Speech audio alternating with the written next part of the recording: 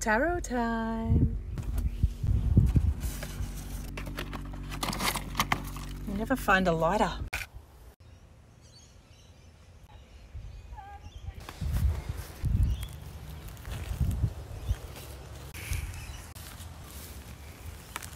Mm, I can't shuffle and film at the same time.